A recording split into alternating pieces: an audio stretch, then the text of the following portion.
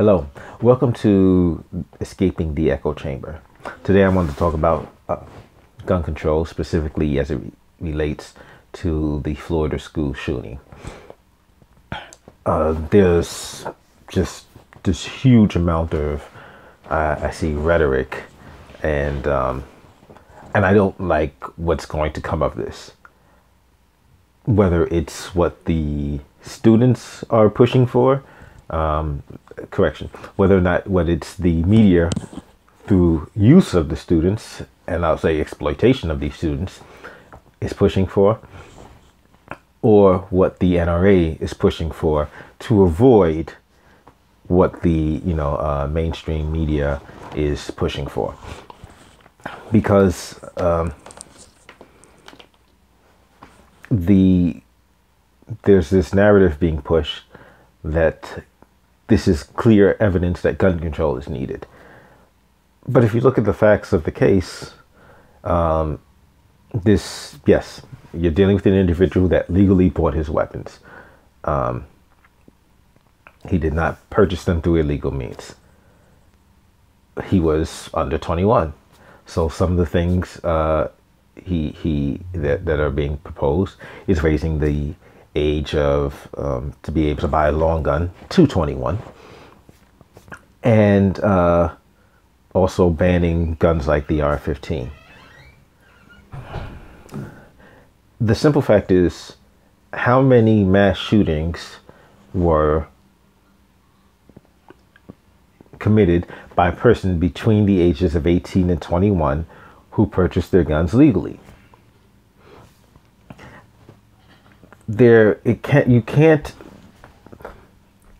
I'm trying to understand how do you rationalize taking one specific as, aspect of an incident and saying okay now we need to make a blanket rule across the country that's going to drastically affect every 18 to 21 year old in the country? I mean that's in itself especially to people on the on the left who have just been arguing against the right doing the same thing with regards to immigration. Like how how where does the at what point do you stop and say wait a minute. I'm doing the same thing they were doing with with, with immigrants. You've got uh, an immigrant uh, an illegal immigrant kills a young woman in in california kate steinle and they, oh yes, we need to ban them, immigrants. We need to deport them. But you're this blanket rule based on the actions of this one person is being pr- put forth, and you'll say no, but there's there's plenty of decent, um, hardworking uh, immigrants who have come here uh, who are not documented and you're just you can't just make this blanket rule because of the the actions of a few but we're going to make a blanket rule based on the actions of one kid that uh, uh, arguably was was mental that may have been mentally ill. What? How many 18 to 21 year, 21 years old? How many 18 to 21 year olds own long guns and haven't hurt anybody? How many hunt responsibly, how many go to the shooting range responsibly, how many have managed to protect themselves with their guns responsibly and without hurting anybody? Or or just protect themselves? Because some cases protecting yourself may require you to actually hurt somebody. Um, if the person refuses to back down somebody uh, tries to attack them they have their long gun um, and I would assume that this would most likely be in a home situation uh, where they would have to, you know, pull out the long gun and hope that the person would then leave or surrender. In some cases, the person may not, and uh, they may actually have to pull the trigger and, and, and kill somebody or or injure them. But the whole point is, you cannot if you just, I mean, at what point, how, what kind of cognitive dissonance has to exist for you to completely divorce uh, the, the argument that you were just making uh, about immigration and immigrants and not making blanket rules based, based on the actions of one or a few when you have su- such a, a, wide example of people who are you know do, do not fit that that uh, narrative How, what kind of cognitive dissonance exists for you then to say but we're going to do the exact same thing with this other issue. We're going to make a blanket statement. We're going to make oh no 18 year old should have a, a, a firearm at all. We're going to do the exact same thing that we just criticized you and that we just finished we, we continue to criticize you on this and we're doing the exact same thing simultaneously with regards to the gun issue.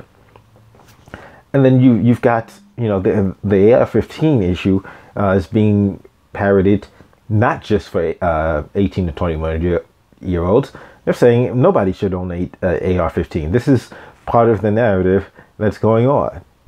There are many calling for an assault weapons ban I'm guessing similar to, or maybe even more stringent than, the uh, 93 assault weapons bill, assault weapons ban. Um, and many of the people that are calling for this aren't consistently defining an assault weapon um, or accurately defining an assault weapon. Because, yeah, I'm, there, there's significant issues with that definition but once again, you're you're making a blanket. You want to make a blanket rule based on the actions of some. When there are so many, how many millions of gun owners out there responsibly keep their guns, responsibly use their guns, responsibly shoot their guns at the ranges, responsibly store their gun in their houses, and have responsibly and successfully managed to defend themselves and their families with these guns because I've seen these kids. I, I in fact, uh, I think it was on Bill Maher's show, and you know, one of these kids says, "How dare you? How dare you? Uh, uh, we've went through this. You don't get the right to say." Okay, wait a minute. Let's stop. You survived a very tragic and traumatic situation. In that situation, it was perpetrated by a person who had a firearm. How many people out there have survived situations, not perhaps not mass shootings, but have survived attacks on themselves, their homes, their families by using guns, by being armed. How many people have successfully are alive today to speak about it, to speak about a situation because they had a gun in their home, they had a gun on their person, they had a gun available to use when they or their family or their home was attacked. How many people? So no, you're being just as disrespectful to all of those people who have who are alive today because they had guns at, for themselves at the proper time because they didn't have to just get on the phone and hope that the cops would arrive in time to stop this person who was either an intruder, either uh, uh, attacking their person, where they were able to, to defend themselves and not wait, have to wait for the police to, to arrive. Because who knows how long the police will take. Even if the police are doing their best, are operating at peak capacity. If the police are if the nearest police car is five minutes away, you've got somebody in your house right now attacking you.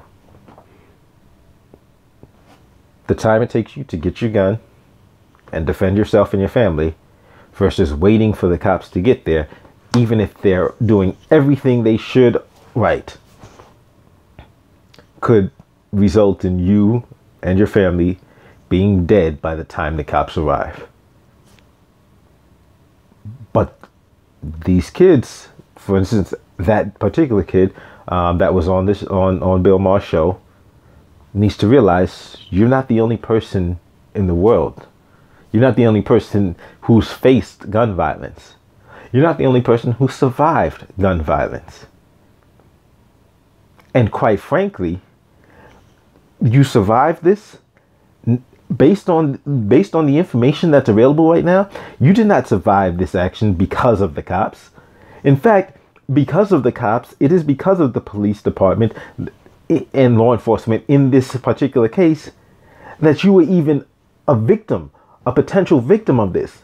It's because of their their failures to adequately respond to numerous numerous warnings, complaints, and and and and and, and, and information about this individual that that put you in this position. It was the failure of the, the officers on site to respond in a in a adequate manner to like, enter the building th- that that could have drastically lessened the damage done. I mean, if you just look at this this case, this is the worst case to be using as an impetus for gun control. This is act this case is actually a prime example of why people need to arm themselves. This is a prime example of why, the, the, for for real, the, this the narrative that should be coming out of here is okay. We need we need to make sure people are armed themselves. We need to make sure there's more than one person uh, on, on school grounds that's able to defend the kids because if we're dealing with a coward like that, we need to make sure there's as many people possible in case some coward decides, I, I don't want to do anything and freezes, somebody else is available to be able to take action and protect the, the children in the school. Um, yeah, this case is the worst case, is one of the worst cases for you or anybody else to be using as a as an example as to why there needs to be gun control.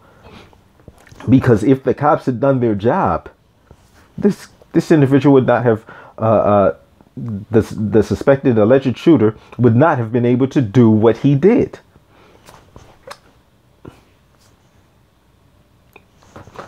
And that's what's that's one of the things that's so problematic with this. It's like you're I'm seeing people um, who are supposed to be journalists there's some I'm not surprised of. You know, um, you you could say your your your bigger outlets. I'm not surprised um, that they're doing this, but then there's some I'm seeing that tend to be much more even keeled, um, that are that are still you know trying to push a narrative.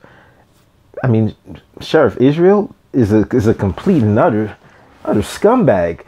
I mean, just just watching his interviews and his arrogance worries me. Not in just specifically not in relation just to this case, but if he's that arrogant, that's it, it, it that immune to self-reflection, to to taking responsibility for massive failures.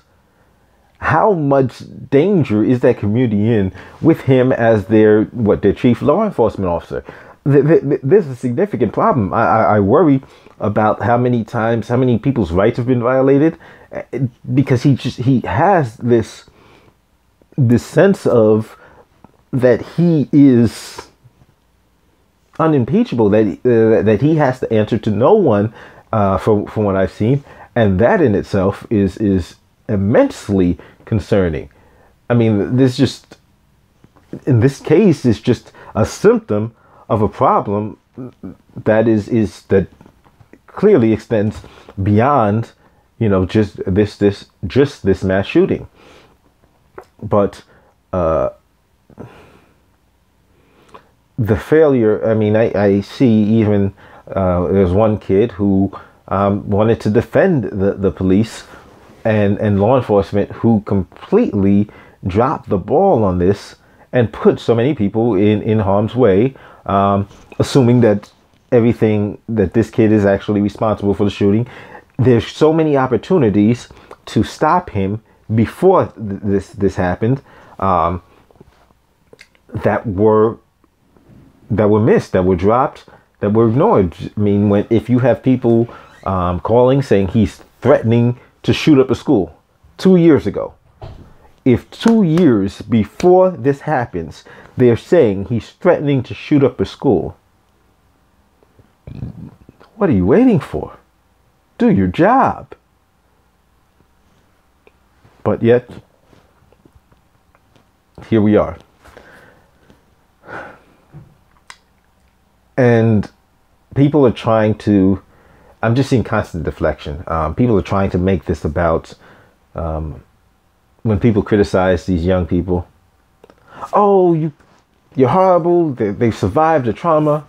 Yes, they have survived the trauma, which is precisely why you shouldn't be exploiting them, which is precisely why they're not in the best position to be deciding policy.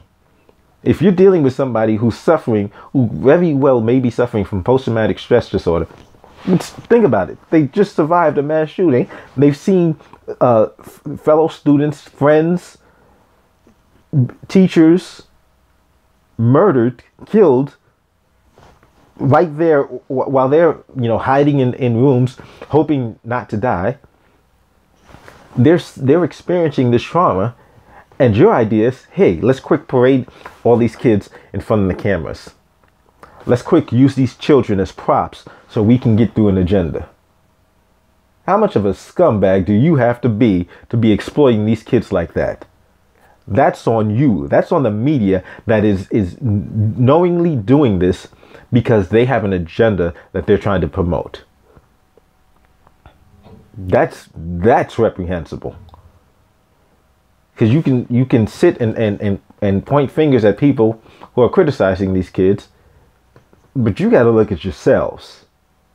There's no way in hell you should be parading these kids everywhere and then and trying to use them as as the the reason why uh, gun control law should pass. Win on the strength of your arguments. Win on logic and reason. But you can't. Especially not in this case, you can't. Because logic and reason from being applied from this case show you that law, law enforcement failed at so many levels, and thus people should be arming themselves to protect themselves to deal with such monumental screw ups like this. But those I mean, this is the the nature of tribalism, um, which we're seeing in political discourse today. It's our team versus theirs, team red versus team blue. And I mean, I'm seeing, like, when I'm seeing black people just support gun control, I'm like, whoa, whoa. we, as black people, we should start, we really need to get away from this tribalism nonsense because gun control is seriously not going to be in our best interest. How can you talk about how much of a racist Donald Trump is? How much of a racist Jeff Sessions is? How how how empowered white supremacist organizations are becoming and then say, "You know what? But we need to take away the citizens' guns." Whose guns are they coming for first? In fact, with a racist like Donald Trump, if you believe Donald Trump is a racist, if you believe he's a supporter of white supremacists, how in the world can you sit there and say, yeah, let's make laws banning firearms, banning long guns? Do you think they're going to go after the guns of these white supremacist organizations? Or you think they're going straight for Chicago? Better Think. Think where they the first place they will go. Even though Chicago already's got some super strict laws. I mean, they they they were already headed to Chicago. In fact, they might already be in Chicago. I've got to look that up. But I mean, and just start tossing black people in jail, violating their rights, stopping frisk. I mean, seriously, think about how much of a police presence now will exist in black communities more so under if if gun control laws are passed and what will be used as the justification. Well we need to get these guns so we need to find out who has them. We need we need to we need to check. We need to start how how how badly how badly is the the fourth amendment going to be violated to to to enforce this law? And who's going to suffer? How many more black people are going to be tossed into prison behind subsequent gun control laws. Come on, black people. We got to be smarter than this. Don't just side with them because they're the left, because they're the Democrats, because they spout lip service to us, you know, occasionally. Because remember, these are the same people that are saying cops can't be trusted, cops are, are, are racially profiling, cops are, are murdering black people. And then they're saying, but cops are the only ones that should have guns. Are you serious? Like, do you not, not have you not been paying attention to history? Have we not seen what gun control was used for? Somebody like Ronald Reagan. Oh, wait, wait. The, the Black Panthers got guns. Whoa, no, no, no. We got to stop this. We got to change the law. So it's time. it's time to stop falling for the same old, same old nonsense, and and realize that this issue this is this case is definitely not a good example of why gun control should be uh, implemented. I don't know if there is one. Um, in fact, I don't think there is. I'd be willing to debate it. I'd be willing to discuss it. Um, but the facts of it, the facts that, as we realize them now, definitely show that there's not any debate in this issue law enforcement failed on for years. For years, law enforcement failed to do what they were supposed to do. During the incident, law enforcement continued to fail. After the incident, how does this kid get off off site? If this is the kid that did it, how did he get out of the building, off of off the campus, and have to be arrested hours later someplace else. How does that make any sense? How many failures have compiled for you to, to, to, before you stop and realize, you know, yeah, let's not even talk about gun control now.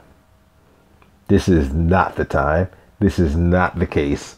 This is not the incident that will support uh, that making any sense. But there's another issue of what the NRA is doing. The NRA had the nerve, the audacity to call itself the oldest civil rights organization. When, uh, what is Wayne, Wayne, Wayne LaPierre the chairman? This is the same asshole who called for a national database of the mentally ill. You scumbag. You fucking scumbag. Seriously, a national database of the mentally ill. That's oh oh I I that I despise Wayne LaPierre. I despise him because that was some crazy. I mean, you care, you don't give a damn about the Constitution if you're calling for a national database of the mentally ill. And so, all of you people that are supporting the Second Amendment, realize that there's some people who are actually fighting for the Second Amendment, and there's some people who are just trying to fight for their own bottom line. He's just fighting for his own bottom line because he's willing to throw the First Amendment out because he wants to talk about video games. He wants to shift, he wants to violate every, he's willing to sacrifice any other amendment within the Constitution to give the appearance that he's fighting for the Second Amendment. And remember, he doesn't even fight for the Second Amendment uh, across the board deathly silent on Philando Castile. N- none to say then. This is a dude like the, the right now it, it, it's I'm calling on gun owners to just start asking for radic, radically different uh, representation in, in in the NRA because if you don't have somebody that can defend the the Second Amendment without trying to throw other without trying to have the other sacrifice the rest of the Bill of Rights. Like they gotta go. I mean, you you you, you don't give a damn about the Constitution, and you have like you're you're just completely incompetent. Because there should you should be able to just make the defense of the Constitution. In fact, using other other amendments should bolster your ability to defend the Second Amendment and defend, uh, uh, argue against the government infringing on these rights. But your willingness to sacrifice other rights for the sake of of trying to protect your bottom line is a hard. It's it's it's it's ridiculous. It reeks of somebody who doesn't it doesn't know anything. Well, anyway, that's it. I've spoken enough about this for right now. Um, clearly, you know where I stand. But I encourage you to comment if you disagree. If you agree, I want to see where you stand. Thank you, and I'll see you next episode.